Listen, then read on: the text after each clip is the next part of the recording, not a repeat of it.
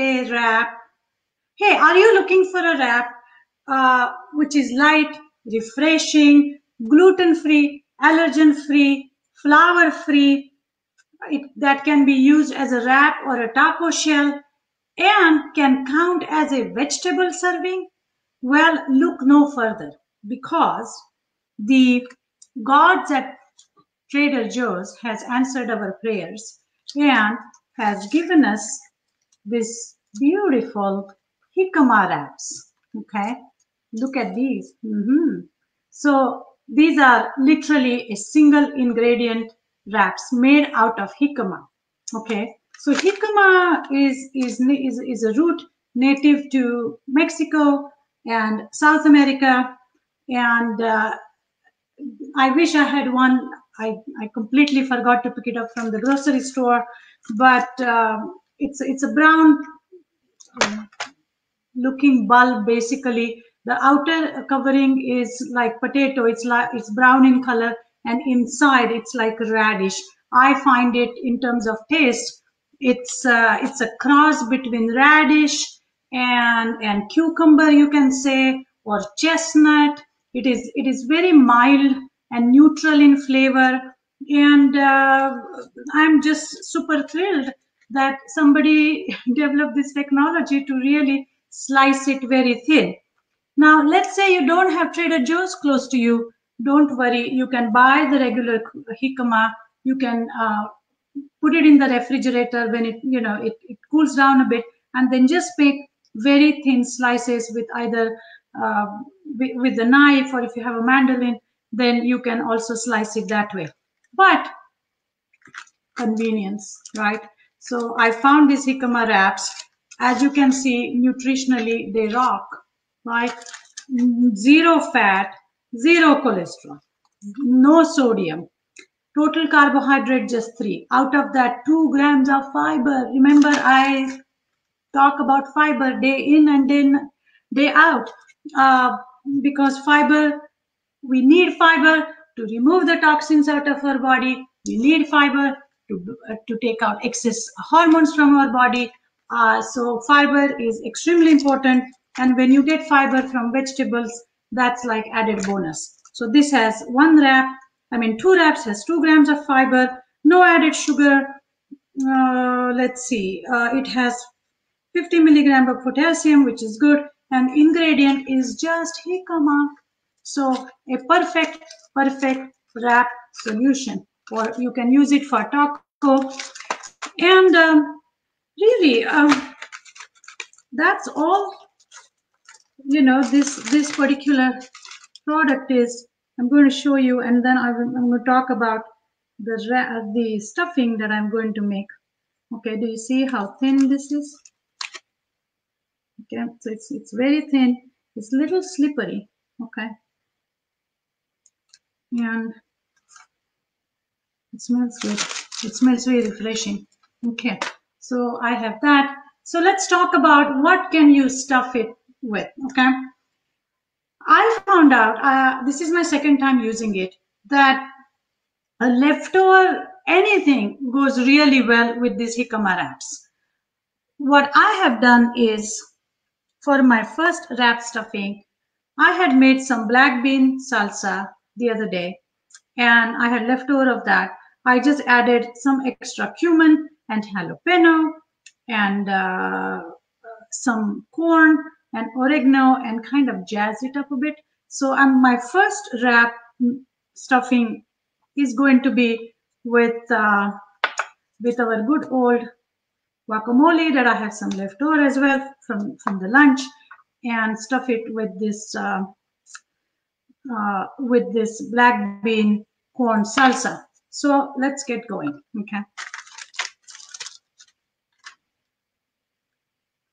it's it's like I said, it's going to be easy and it's going to be simple. So I have this and I am going to can't even see it in the plate, can you? Uh, I'm just going to spread some guacamole on top. I think these wraps are going to be perfect for kids in their lunch boxes when they go back to school, that is, right? But I'm requesting parents to those, uh, if they have kids uh, doing virtual uh, schooling from home, I mean, doing virtual classrooms, that please pack their lunch and let's not have a free for all type of lunch period here because that's when we are going to be uh, eating unhealthy. So treat the virtual classroom model just like uh, as if kids are going to school. Pack their lunches, pack your own lunch. So when it's time to eat, you have everything planned. So I'm just going to put a little bit of uh, the stuffing in there, right? And and then I'm just going to press it down and voila, the first wrap is ready. Okay, I'm just going to move it here. And let's move on to the second wrap filling. The second one is going to be interesting. Okay, so the garden had some kale, very fresh kale. I I uh, turned it into a, to to kale chips by just roasting it in the oven with a little bit of nutritional yeast. Okay, what can I say about kale, right? I can talk here and talk for hours about kale. It's a superfood, uh, vitamin K, which is extremely important for our digestive system. It is important to take care of our digestive system because uh, it uh, it, it um, affects our immunity, right? This is all about immunity, right? Building our immunity, maintaining our immunity, challenging our immunity. So, kale. I have these kale chips from uh, from this morning, and then I'm going to show you something very interesting. Do you see all these peppers? Look at all these peppers. These are small sweet peppers. Purple, brown, green, yellow. I really wish you guys were my neighbors because what am I going to do with all these peppers? Well, I'm going to give it to a few people. If you are in my neighborhood, DM me and I will give it to you too. So I have all these lovely peppers and jalapeno here. So what I did, turned it into a pepper jelly. Now, yes, I ended up using sugar, but I wanted to try this recipe. Oh my goodness. And it's spicy and it's sweet.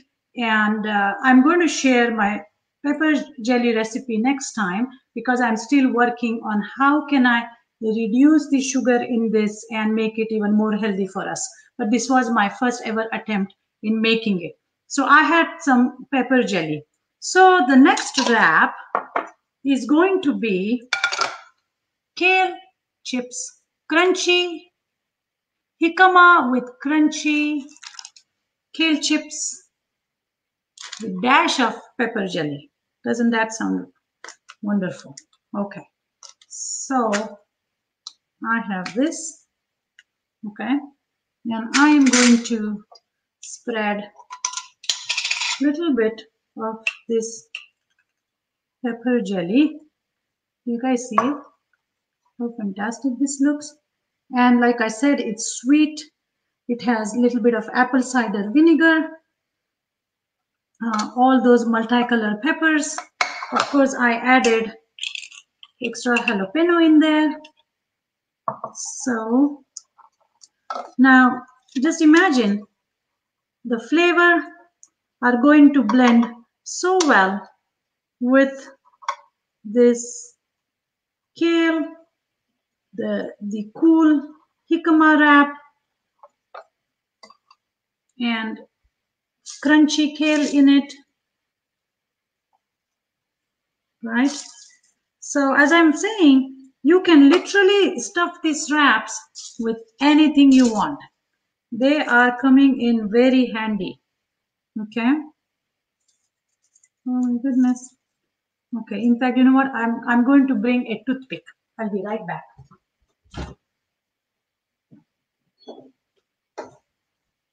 Okay, I'm back. So if you're giving it to your kids in the school or if you're taking it for lunch or wherever, you may want to put a toothpick in there to hold it together. Okay. Um, I have never used toothpick in this to hold it because I usually end up eating. So that was our second wrap.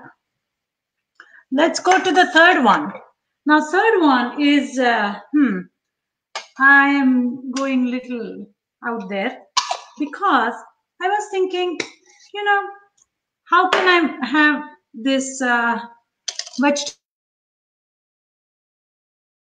for breakfast, right? Should not be uh, that difficult. Okay. Nobody has said that we can't eat vegetable for breakfast. So what I thought I will do is uh, I, I was thinking that you know how people eat celery with peanut butter so that's a vegetable right i have seen uh, people eating carrots with vegetables. Of course apple and you know fruit goes well with uh, uh, what am i saying? I meant celery with peanut butter or carrot with peanut butter. So i said why not jicama with peanut butter? Right? So i have this crunchy uh, all natural peanut butter right? So let's make a breakfast breakfast blend okay? So let me grab a knife and uh, so i'm going to put a little bit of crunchy peanut butter in here and a friend of mine made the blueberry rhubarb fruit sauce. Can you guys see it? From the all the blueberries and rhubarb from the community garden. Okay. Uh, by the way, those peppers that I showed you, I don't know if you guys can see the baby tomatoes. Those are from the community garden. All these peppers are from the community garden. Kale is from community garden. Mm, all the peppers and uh, I believe there are some fresh fava beans in that bean salad. Everything is from community garden. I beg you to find a garden in your community and get involved. I cannot tell you how rewarding it is. Okay, I am so grateful to have to have found Marie Wilkinson's community garden in my neighborhood. Okay, anyway, so I have this um, rhubarb blueberry fruit sauce, you can say, and we are going to make a breakfast uh, breakfast wrap with jicama, crunchy peanut butter. Um, I have never done it before. Okay, so I'm as curious and uh, excited about this particular one because the other ones I know the taste is going to be fine. It's all going to be good. But uh, peanut butter and jicama wrap is going to be something new. But I think it's doable. I don't see why it will not work, you know, because it has the texture. Remember, food is all about texture, color, flavor, right? So it has a refreshing jicama, mild sweet jicama, and then rhubarb is slightly tart, blueberry sweet, and it's a sauce. So it's like jam. I mean, I don't see why it will not work, right? Here we go. And I'm just going to spread it a little bit more to make it mix with the peanut butter. And voila the third peanut butter. Peanut butter rhubarb blueberry wrap is ready okay? Now you can literally stuff it as much as you can or as little as you can okay? Whatever you can handle when you are eating. So let's review what we got here. The crunchy, crunchy kale pepper jelly jicama wrap. That's one. The avocado, black bean, fava bean salsa wrap, number two. And last but not the least is um, peanut butter, rhubarb, blueberry sauce, breakfast taco or breakfast wrap, okay, or breakfast bite, how whatever you want to call. Okay, so I don't know which one to try. Since I have never tried the peanut butter one, I'm going to try that one first. Hmm. Hmm. Can you hear the crunch? I feel so bad that I'm eating it all by myself. I really wish you guys were my neighbors. All I could get to share. Mm. Guys, this is a winner. I must say. This is going to be so perfect for breakfast. The jicama wrap is so light, it's so crunchy, it's refreshing, and the peanut butter, the creaminess of peanut butter, the sweet and sourness of jam. I mean, it is just amazing. I think kids are going to love it. Okay. It it's it's just it's working out so well. Well, I'm also curious to try the uh, crunchy kale pepper jelly jicama taco. Let me try that. Mmm. Mm. Kale, spicy pepper jelly. Mm. I can feel the jalapeno. Mm. I think I went a little overboard with jalapeno, but oh well. It's wonderful. Okay. So that's all I have to share today. Okay. Please, please, please go and grab these wonderful jicama wraps. Okay. From Trader Joe's or once Trader Joe starts having it, I'm sure Whole Foods will have it, and very soon it will be in regular grocery stores. I know Sprouts has it. Uh, probably, I think the next one, Mariano's may start carrying it. So, like I said, these are crunchy, these are light, these are refreshing. Most importantly, a clean label, easy to use, ready to eat wrap that you know product cannot get cleaner than this right? So i'm so happy that i i i discovered this. Like i said it's jicama wrap. Um i can't say uh, enough about it. I hope trader joe's won't, won't discontinue it i don't think they will because it's i think it's a really good product and uh, please plan your meals a lot of these products are easily available if nothing else at least try it, buy it, try it with peanut butter and a little bit of honey or uh, any kind of fruit inside. I, oh, that reminds me, I have some figs. Maybe I'll fix one with peanut butter and fig inside. I'm going to talk about figs and immunity uh, next time, so stay tuned.